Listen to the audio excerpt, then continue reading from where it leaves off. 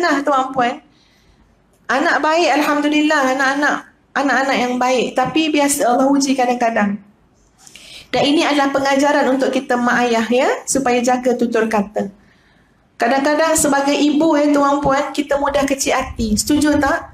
Yeah. Terutama ibu-ibu yang makin berusia ni. Ya, kita mungkinlah kita selalu salahkan hormon kan? Ya, ah, tak tahulah sebenarnya salah siapa. Tapi ialah kadang-kadang jadi mudi sangat ya, mudah kecil hati. Tuan puan sekalian, benda tu juga ustazah lalui. Satu hari anak ustazah tu nak balik ke asrama dia. Jauh tempat dia. Jadi ustazah sebab mengambil kira dia nak balik, walaupun ada program pagi dan petang, ustazah usahakan juga dengan bantuan Allah untuk sampai juga di rumah tengah hari. Ya? Tak nak widak pagi tu je terus. Nak jumpa juga di tengah hari kan. Sebab anak tu dah cuti lama. Kita seronok sangat anak kita cuti kan. Jadi ustazah balik juga. Santuni anak yang nak balik ke sekolah ke asrama ni. Ya? Jadi bila sampai dekat rumah tu tuan puan sekalian. Suami ustazah bagi duit belanja pada anak tu melalui ustazah. Jadi ustazah tak bagi langsung pada anak duit macam tu, malah ustazah cari ku ada beg-beg kecil-kecil kan? Sebab nak menyantuni tu sampai tak nak bagi macam ni ni duit ah tak nak. Bagi dia beg kecil cantik dalam tu. Kita tu berfikir sebagai seorang ibu eh nak menyantuni. Cari beg ada orang bagi dulu orang tu pergi Vietnam ke apa kan? Masukkan dalam tu. Elok bagi nak bagi ke anak. Bila anak tu masuk dalam bilik ustazah, dia nak ngambil barang, Ustazah bercakap dengan dia. Tapi dia tak jawab. Ha, ya, kita bercakap, bertanya kan? Bercakap lah, bercakap. Tapi dia tak jawab. Senyap. Tuan puan suka tak anak-anak buat macam tu? Ha, tak suka. Ya, kita ni selalu macam heran. Apa lagi yang tak kena kan? Ya, jadi dia senyap. Ustazah mula naik angin. Ya, ha, eh Ustazah pun naik angin. Eh naik. ya ini manusia biasa ya eh naik angin ha jadi ustazah mula rasa macam Eh geramnya kita dalam hati lah ya. Kita ni sampai balik nak menyantuni dia. Tiba masa kita bercakap, dia senyap. Ya, Ustazah pun dia dah senyap. Malah lah Ustazah nak bercakap dah kan. Ya, tanya juga kenapa ni? Kenapa ni kakak? Kenapa senyap? Jadi Ustazah pun rasalah naik angin tu. Ustazah pun ya dah siap-siap untuk program petang. Jumpa dengan Ustaz. Ustaz kata tak apalah. Abang bagilah duit ni kat dia. Dah letak dalam bekas ni dah lawa dah nak bagi ni. Ya? Abang bagilah. Ustaz kata kenapa tak nak bagi? Tak apalah tak nak lah. Ha, jadi Ustaz pun tahu ni adalah benda tak kena. Ya? Jadi Ustaz kata jangan pergi kecuali pergi dulu dekat anak tu. Selesai kan? Jangan pergi dalam keadaan macam ni. Selesai kan? Tapi ustazah pula berfikir, anak tu patut selesaikan dengan ustazah. Ha, ya, ini ini masa orang merajuk, orang merajuk orang macam tu. Ya. Jadi ustazah berfikir, eh dia, dia nak balik, dia nak keluar. Dia patut selesaikan dan dia tahu Zana nak, nak keluar ni. Dalam hati ustazah, kalau ada dalam perjalanan nak keluar pintu kan dia ada, ustaz salam. Kalau dia tak ada, ustaz tak cari. Ha, ya. Kenapa akak tengok ustazah ni ustazah? Ini cerita orang merajuk tuan-puan. Kalau masa normal, ni normal, ni tengah normal ya. Kita tahu pertimbangan bagus. Tapi ni orang tengah merajuk. Sebab dalam hati ustazah, Ya Allah nak Umi sampai balik nak menyantuni kamu. Ustazah dalam hati ustazah selalu macam ni. Ya Allah rasanya Umi tak pernah buat dekat Uwan macam tu. Mak kita. Rasanya lah tak pernah mak kita cakap dengan kita, kita tak layan, tak pernah rasa. Jadi rasa macam, Ya Allah, pasal apa pula anak jadi macam ni. Okey, Alhamdulillah perjalanan nak pergi kat, kat apa kat pintu tu, ada anak tu dah siap tunggu. Jadi ustazah pun salam dengan dia, tapi maklumlah orang mengajuk, salam dia lain. Ya, kalau tak mengajuk, salam tu berpeluk-peluk sampai tak lepas tak tahu mak lepas dulu ke anak nak lepas dulu. Sebab apa? Memang memang kita sayang sangat dengan anak. Kadang rasa itu orang puan rasa tak nak lepas anak ni pergi menuntut ilmu jauh-jauh. Nak tengok anak tu membesar depan mata ni amat tapi tak boleh macam tu ya ha, jadi hati tu merajuk kan jadi Ustazah Salam tu macam touch and go je lah hujung-hujung jari je lah kat kuku je rasanya ya asalam macam ni dan tak ada peluk-peluk dan anak ni pun macam lah dia mungkin takut juga kan tengok mak macam marah kan ya jadi Ustazah pun pergi tapi saya sempat cakap dengan Ustaz bang tolong nasihatkan anak kita jangan buat mak dia macam tu Ha, ya, jadi kita ni dan kita sayang sangat anak tu dan anak tu baik ya. Jadi bila jadi macam tu dia lain sikit ya. Ustaz faham sangat tuan-puan kalau mak-mak datang mengadu anak-anak yang anak yang melawan ya. Ustaz tahu dia punya bisa tu lebih bisa daripada pisau yang menghiris hati kita. Terlalu bisa. Bisa yang amat. Bila anak buat sesuatu pada mak ayah terlampau bisa.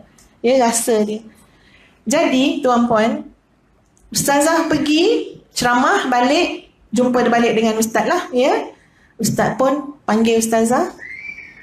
Uh, ini dah masuk sesi nasihat menasihati. Ha ya. Ustaz kata uh, tahu tak sebenarnya apa yang berlaku? Ya. Jadi Ustaz kata macam itulah anak tak nak jawab, tanya kan. Ustaz kata tadi dah tanya dah dengan anak tersebut dan dia dah meluahkan dan dia menangis-nangis cakap dalam kereta sebelum sampai dekat bus, bus station tu. Dia kata sebenarnya Abi dia terlalu sedih nak meninggalkan Abi dan Umi. Ha, terlampau sedih. Ha, jadi dia kata bila sedih sangat tu kan nak pandang Umi pun ha, rasa tak sampai hati. Sebab apa? Sebab tak nak tak nak rasa keberatan untuk pergi nuntut ilmu. Nakkan kekuatan tu. Tapi dia kata, bila Umi cakap macam ni, Umi kata apa? Best lah orang nak balik asrama. Itu saya cakap. ya, saya cakap best lah orang nak balik asrama. Dia kata, dia tak ada perkataan nak jawab. Ya, dan dia kata dia sebenarnya nak pergi solat. Memang saya nampak dia ada kesan wuduk kat muka dia. Sebenarnya nak pergi solat tapi dia tak ada perkataan nak jawab sebab apa? Memang sebenarnya hati dia ya Allah puas minta pada Allah ya Allah kuatkanlah semangat dan untuk ilmu ni. Sebab apa? Sebab sayu syahdu nak tinggal Umi dengan Nabi. Tapi dia kata Umi terlampau pantas, terlampau cepat. Jadi ruang-ruang untuk dia nak menceritakan tu tu uh, dia rasa macam tak sesuai. Dia tahu Umi nak pergi program, dia tahu Umi nak cepat juga Umi nak solat zuhur Umi nak makan jadi dia tak sempat nak menguruskan masa tu kecuali dia kata apa dia tawakal kepada Allah dan dia sebut surah Al, surah Isra ya Tuhan kamu maha mengetahui apa yang ada dalam hati kamu tu ayatnya selepas Allah perintahkan wa qadha rabbuka alla ta'budu illa iyyah wa bil walidaini ihsana dia kata tak apalah Allah maha mengetahui dalam hati kakak. Kakak tak ada niat nak nak apa? Nak buat me, me, apa menyakitkan hati Umi. Jadi dia kata Abi tolong cakap dengan Umi. Tolong restui kakak sebab kakak tidak akan ada daya untuk menuntut ilmu Allah kalau tidak bersama dengan redha Abi dan Umi. Jadi tadi memang terkilan sebab kakak nak peluk sekuat-kuat dan seerat-eratnya Umi. Tapi kakak tahu masa tu tidak sesuai. Jadi macam mana Ustazah dengar? Ustazah kata, Ya Allah aku ni mak jenis apa? Ni mak kategori apa ni? Ya, Allah aku ni mak jenis apa? Anak aku bukan buat benda durhaka. Kita cuma salah faham tuan puan. Ini yang orang panggil orang putih panggil miscommunication. Ya? Kita punya cuma salah faham. Saya kata apa? Ya Allah. Selfishnya aku. Ya Allah. Ya Allah. Aku ni mak kategori apa? Kita belum sampai Allah uji tuan puan anak-anak tu. Ya Allah. Ya Tuhan. Ada orang-orang yang Allah uji. Dan nak sebut pun takut kena kat kita. Wa iyazubillah. Ada ibu-ibu yang Allah uji anak dia penagih dadah tuan puan sekalian. Ini cerita betul. Anak dia penagih dadah tuan puan. Dekat tubuh badan tu habis kudih-kudih. Ustaz rasa mungkin dah kena HIV kot. Orang keliling tu apa tak kata pada anak dia. Kalau anak dia pergi kat restoran berdekatan tu orang tak masuk restoran tu nampak kudih-kudih pada badan anak dia. Tapi apa suami, suami mana ayah uh, lelaki tadi cakap anak lelaki tu kata Anak dia tak makan dah dekat restoran pun. Anak dia sentiasa tiap hari gimana mana pun akan balik makan kat rumah. Sebab ibu dia akan santuni anak tu makan kat rumah macam anak tu CEO Petronas.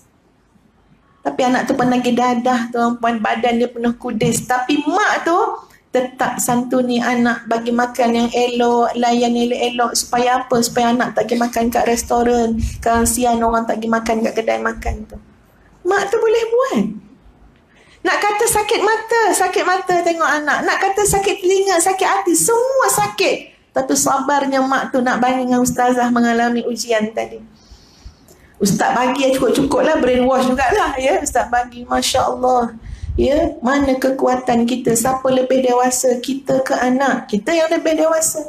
Siapa lebih matang? Kita ke anak? Kita. Siapa guru? Siapa murid? Kita guru. Anak kita macam ibarat murid.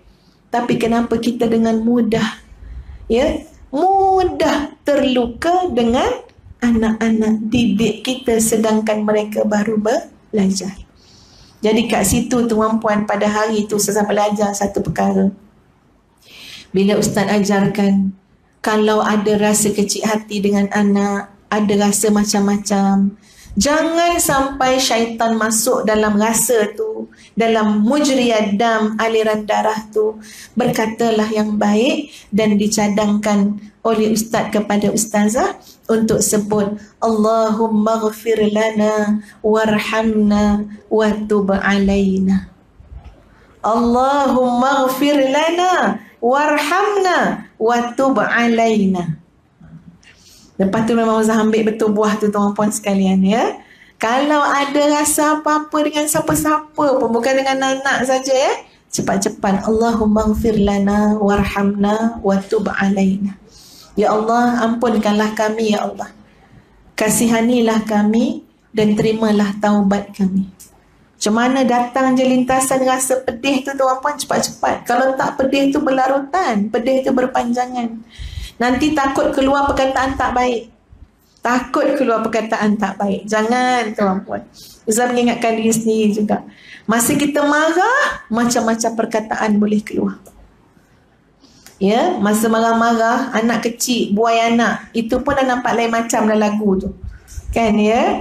Ha, kita marah-marah selalu sindir-sindir juga. Kan? Ha, anak Umi, anak Umi. Ha, wangi anak Umi, bucu anak Abi. Tengok ayat kita kan. Ya, kita nak nyindir ayah dia. ya. Ha, baik anak Umi, nakal anak Abi. Kita boleh buat lagu pula benda-benda macam tu. Sebenarnya nak nyindir-nyindir. Orang marah dia macam-macam bahasa keluar daripada mulut dia. Ya. Jadi subhanallah tuan-puan saya belajar daripada benda-benda tu. Anak kita bukan anak yang tak baik. Anak kita anak yang soleh, anak yang solehah. Tapi kadang-kadang kita tu terlalu sensitif sampai perkataan kita tidak bagus. Jadi sebut selalu Allahumma ghafir lana sambung warhamna wa tub alaina. Masya-Allah tuan-puan sampai kalau kat rumah tu kan kalau kalau kita sebut sebut kuat-kuat Allahumma ghafir lana warhamna wa tub alaina. Anak-anak tahu tu Umi tengah marah lah tu. Ya, ha, lagi baik, lagi bagus dia tahu cara macam tu kan daripada kita melayan perasaan ya daripada keluar perkataan-perkataan yang tidak baik